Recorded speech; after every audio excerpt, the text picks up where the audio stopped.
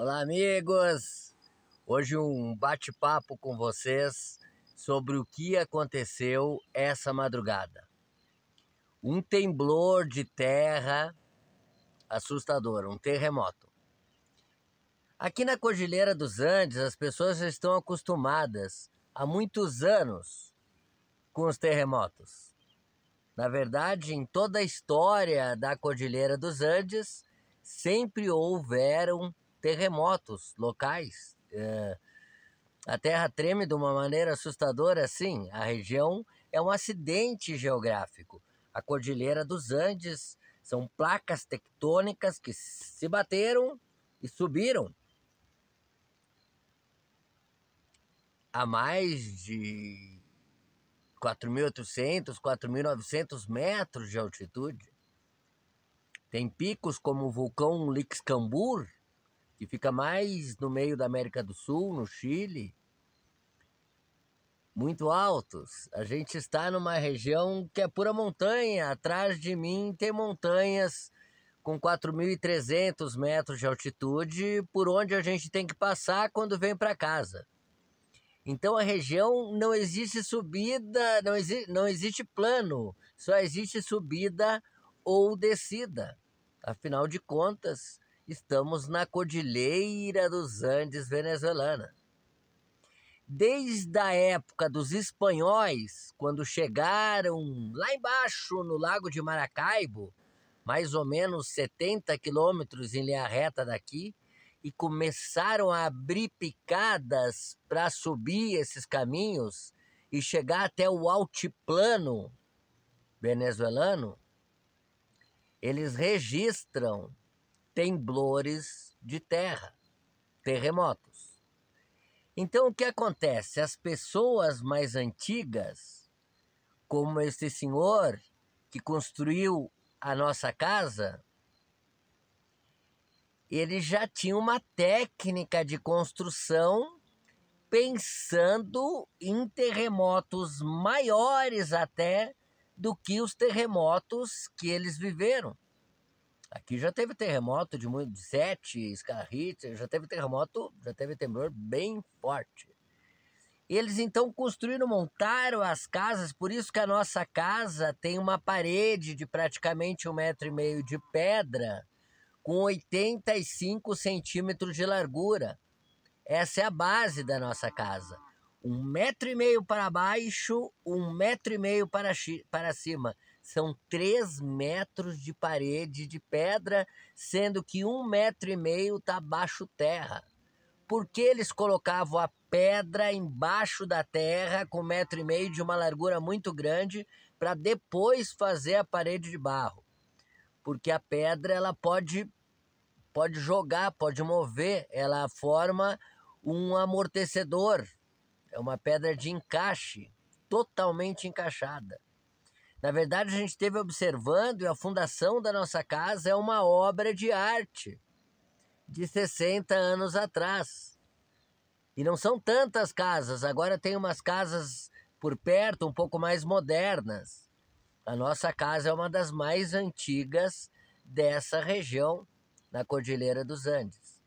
Em cima das pedras, o que eles colocaram para evitar o o terremoto para evitar que, se, que a casa caísse e se rachasse. Eles colocaram paus de madeira, uma, um tipo de madeira que ela se move quase como bambu. Eles racham essa madeira no meio e colocam um pau grosso dessa madeira no meio e amarram com outros dois paus em paralelo da largura mais ou menos de 45, 50 centímetros. Eles amarram, amarram a cada 10, 15 centímetros. Então a casa fica uma fica totalmente apta a se mover sem rachar. E qual material que eles resolveram colocar? Barro. De novo, barro e pedra. No meio dessas madeiras, eles colocam pedra ou madeira, pedaço de madeira. Recheiam tudo de pedra e de madeira. E o barro é só a plasta dos dois lados. Passa um barro, mais ou menos 15, 20 centímetros de barro, em várias demãos de barro, e alisam. Então a gente sente o terremoto no piso, mas não sente nas paredes e tampouco sente o terremoto no teto. Hoje a gente dormiu tranquilo, eu postei os vídeos. Eu, normalmente aqui a velocidade da internet é limitada, porque é uma antena satelital. E o plano maior é muito caro, é, é, é, é demais para a gente. É, é praticamente 300 dólares por mês, um plano mais forte, mais estável. Então a gente tem um plano que a gente paga cerca de 75 dólares por mês e esse plano nos dá uma internet super rápida para fazer o upload, upload para carregar os vídeos entre a meia-noite e as 5 da manhã. E é nessa hora que eu trabalho, aí vem a minha parte. Eu, a gente está respondendo os comentários durante o dia, fazendo as coisas aqui, claro, na, na roça, como tem que ser, fazendo os vídeos que a gente uh, a, a Sofia faz uma parte, ou faço uma parte também. E aí eu ponho a despertar o relógio para uma da manhã. Já que a gente faz dois vídeos por dia, um é a novela da vida real e outro é o vídeo das 19, que é esse que, que vocês estão vendo agora. No, no, na novela da vida real, a gente faz vários takes durante o dia, exatamente como foi o nosso dia. É um grande Big Brother que vocês estão vendo aí, a novela da vida real. E o vídeo das 19 a gente mostra algum lance interessante, alguma coisa que aconteceu, um bate-papo meu e da Sofia ou uma entrevista. Bem, eu estava terminando de lançar o vídeo, de editar os vídeos. Eu edito na cama mesmo, no próprio telefone celular. É um Dimini Bison, nosso telefone, é uma excelente câmera, mas é um telefone. A gente não tem o computador, o computador que a gente comprou agora é um computador pequeno, não tem aquela capacidade para edição de vídeo. E o celular moderno é melhor do que um computador que, que não é tão moderno. E a coisa mexeu a cama. Sabe aqueles filmes de, de fantasma? que a cama move? A primeira coisa que vem na cabeça é essa coisa. Ai, ai, ai, o que tá acontecendo aqui nessa cama?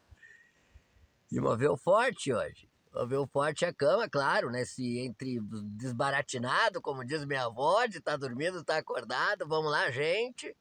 A gente pega as crianças, nesse caso, claro, e, e a gente vai para uma parte mais segura, que é embaixo do, do quadro da, da porta, por ali, mas parede não mexeu nada, mas o piso mexeu bastante.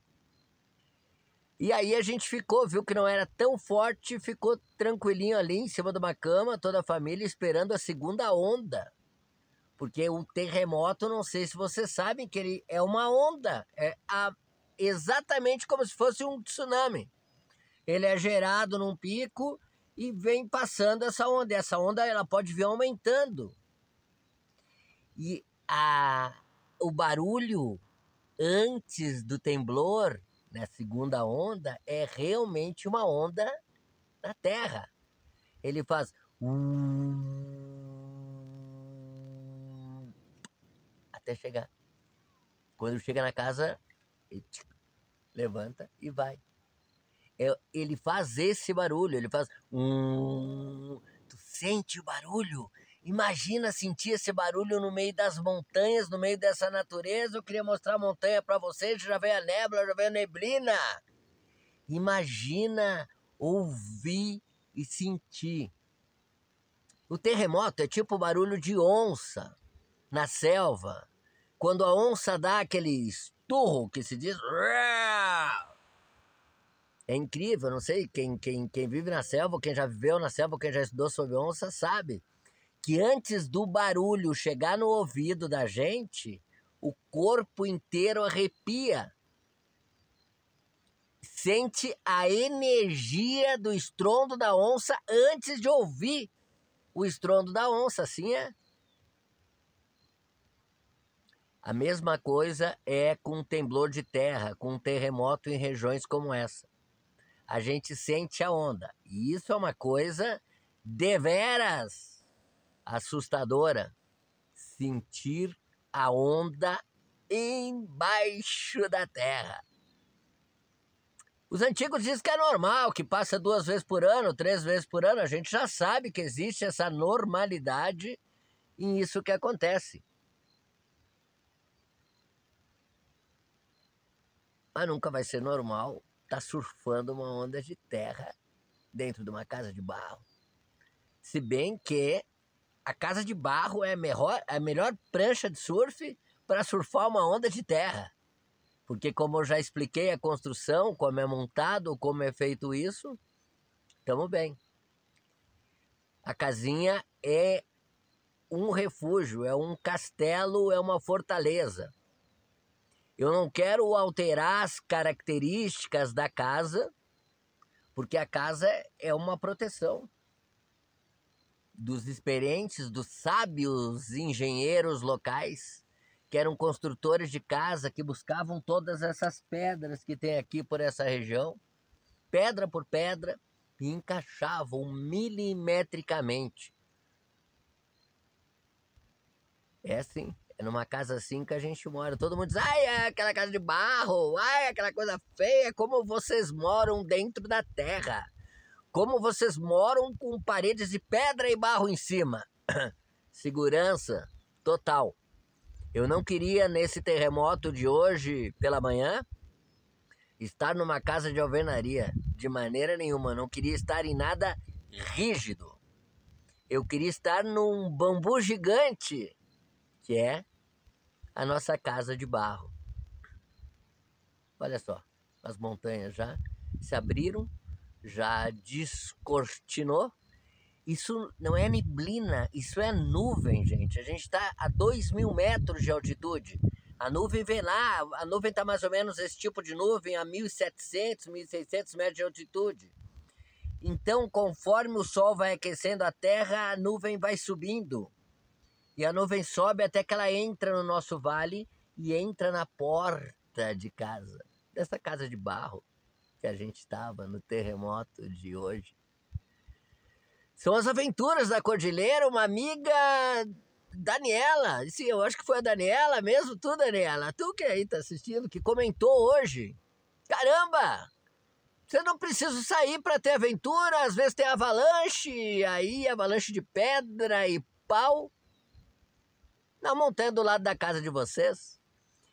Às vezes tem terremoto do lado da casa de vocês, tempestades a gente está protegido por Deus, a gente está de bem, a gente está numa, numa região onde existem esses acidentes geográficos. Mas mesmo assim, ainda é segura. Diferente de uma região do litoral que pode ter um tsunami, um maremoto, qualquer coisa assim. Aqui pode, que pode acontecer é um terremoto mais forte. E a casa dificilmente vai rachar a parede. O teto está super bem, é leve, é um teto leve exatamente para isso e não tem, não teve nenhum tipo de, de problema. Mesmo assim, claro que a gente se cuida. Mas aqui a gente está relativamente seguro em relação às catástrofes mundiais. Foi um terremoto, nada mais.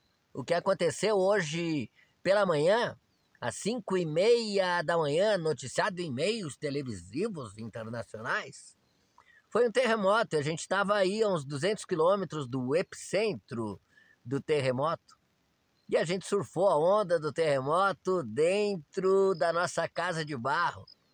Feliz da vida e dando risada depois. Só que o temblor foi tão forte que acabou a luz.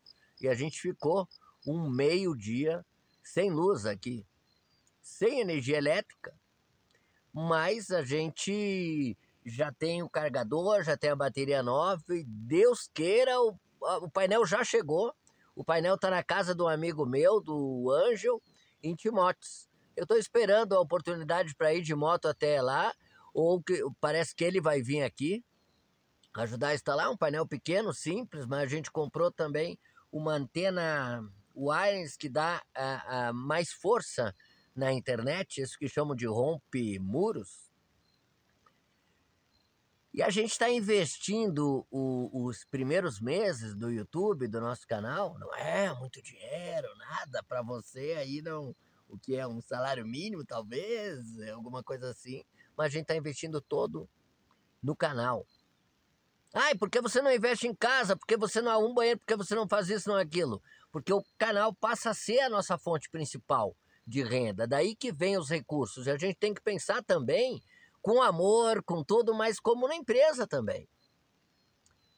O que a gente fez? A gente ah, comprou uma coisa muito bacana que eu tô para falar para você, mas eu não sei guardar segredo.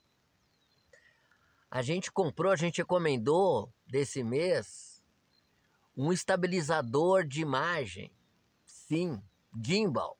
Um estabilizador de três eixos, uma coisa que agarra na mão ali o telefone, ele tem três motores, é leve, é de alumínio, aperta e ele funciona todos os motores. Então eu posso caminhar e mexer que vocês vão ver uma onda suave, não suave como o terremoto, mas vocês vão ter uma qualidade muito melhor de imagem para a gente descer essas montanhas, fazer essas aventuras. Como diz Daniela, não precisa ir muito longe para viver uma aventura aqui nesse canal Vida de Campo na Prática. Então eu vim aqui abaixo, todo lado aqui, da onde cria os coelhinhos. Eu tô aqui dando uma olhada nos coelhos que estão ali e vim contar para vocês essa história do terremoto de hoje pela manhã. Isso não é histórias de Alê. Isso vocês podem ver no noticiário hoje, hoje é sexta-feira, e hoje foi o terremoto aqui na Cordilheira dos Andes. A gente está tranquilo. E o outro, quando vem, ai, aquela segunda onda, chegou a segunda onda do terremoto. Quando chegou a segunda onda, a gente já estava preparado, já sabia que era terremoto, que não era fantasma nem nada. e passou. Foi uma tremidinha, uma outra tremidinha, segunda onda. E a gente está feliz, está de bem com a vida. A gente ama o comentário, todos os comentários de vocês. A gente ama estar com vocês. A gente está curtindo muito e amando muito esse canal no YouTube que tem. Não tem seis meses ainda. Julho, é, vai fazer seis meses esse mês. E. 22 mil seguidores, isso é muito legal. Mais de 4 milhões de visualizações, indo para 5 milhões entre hoje e amanhã. E a gente está super feliz, super feliz com tudo e agradecido de coração. Olha o dedinho quebrado aqui. Agradecido de coração para vocês. Agradecido porque vocês estão nos vendo, porque estão compartilhando os vídeos, porque ativa o sininho, porque vocês estão dando like, like, like. Às vezes, antes de ver o vídeo, dão like nesse canal. E a gente está muito feliz com vocês por isso. Tá feliz também porque vocês entendem que o canal do YouTube gera receita com a publicidade do próprio YouTube. A gente não vende coisas no canal, não. Então é a receita gerada com a publicidade do YouTube. Claro que precisa ver a publicidade. Quando você põe pular a publicidade não vê a publicidade, não gera receita para o canal. Então é legal ver, deixar rolar a publicidade, até porque os anunciantes do YouTube tudo são empresas bacanas e o sistema é tão legal que eles normalmente anunciam o que você necessita. Bom, e daí vocês perguntam, e como estão arrumando a casa, tudo? Não é grana do canal. A, o, a entrada do canal, a gente está investindo pesado mesmo no canal. A gente quer dar qualidade para vocês. Ah, vocês estão gostando dos vídeos? Excelente! Mas a gente quer que vocês amem os vídeos e quer fazer cada vez melhor, quer que vocês curtam muito. Porque é uma maneira da gente agradecer para vocês por estarem conosco, por fazerem parte. Olha as nuvens, olha as nuvens aí, olha as nuvens. Não se vê a montanha por fazerem parte da família Vida de Campo na Prática. A gente está muito feliz com vocês por fazerem parte da nossa família. Olha o mosquitinho aí, baixando na barba. Eu estou deixando crescer a barba. Então isso é muito bacana. E tem a outra parte, tem a parte que é que as pessoas estão colaborando com o canal. Vocês podem ver em todos os vídeos, no primeiro comentário, que é o comentário fixado, que diz assim, na brincadeira a gente fez, manual do canal Vida de Campo na Prática. Toma um minuto do seu tempo. Vai em qualquer vídeo e veja o primeiro comentário fixado e leia esse manual. Aí você vai saber como se aproximar ainda mais da gente, da nossa família. E é daí, dessa aproximação, desses amigos do canal, que a gente está buscando recurso para melhorar o nosso conforto, melhorar a casa a cada dia, tá muito bacana, tá? É muito legal, é uma sinergia muito bacana. As aulas de Sofia, que ela dá aulas de espanhol, isso é legal pra caramba, a gente curte muito. Eu tô ali ajudando nas aulas, e as aulas viram uma amizade duradoura com quem antes era amigo do canal, agora é amigo da família. Olha, é emocionante, é muito bacana e nesse terremoto de emoções, eu quero dizer que a gente ama vocês. E aqui, tete a tete, só entre nós, para ninguém saber. Não conta para ninguém. É muito legal, a gente curte muito fazer cada vídeo. É muito amor envolvido. E a gente sente o amor que vem de vocês para nós também. Um beijo no coração de vocês. Vem com a gente, acompanhe o canal, comparta os nossos vídeos. Estamos juntos.